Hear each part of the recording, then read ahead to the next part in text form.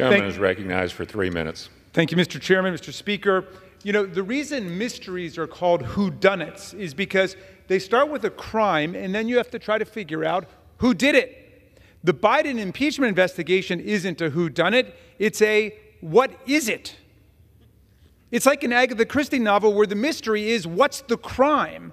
And that gets very tedious very fast. After 11 months of this, no one can tell us what President Biden's crime was much less where it happened, when it happened, what the motive was, who the perpetrators were, or who the victims were. Maybe the funniest thing I've ever seen in Congress was yesterday in the Rules Committee when Congressman Neguse kept asking Congressman Reschenthaler what the crime was. And Reschenthaler, who's not on the Oversight Committee and is apparently just waking up to the joke, kept saying he didn't know what it was, but that's why we need an impeachment investigation to find out. And Neguse kept asking him, but what will the impeachment investigation be looking for? And finally, Reschenthaler said, a high crime or misdemeanor. And Neguse said, yes, but which one? Now, Neguse, of course, was involved in a real impeachment investigation of a real presidential offense the incitement of a violent political insurrection against this Congress, against the Vice President of the United States, against the Constitution, and against the election of 2020.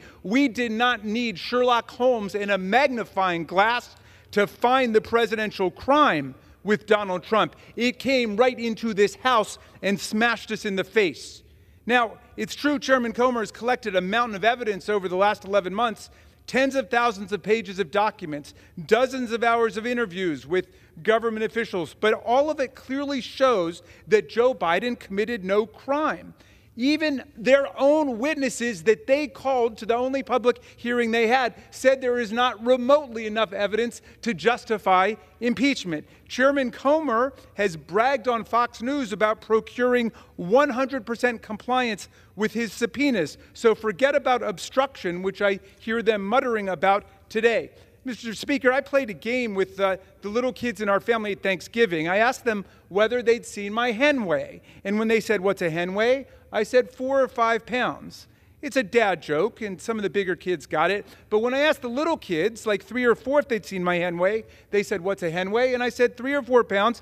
And they started looking for it. And when the other kids came along and asked what they were doing, they said, we're looking for Uncle Jamie's henway. And then for hours, they were looking everywhere for my henway under the sofa and under the chairs. And it could go on for days like that. Mr. Speaker, we're all looking for the Republican Party's henway. It just weighs three or four pounds, but it's costing us tens of millions of dollars. So please forgive me for spoiling the party here, but I want to say this to America there is no Henway.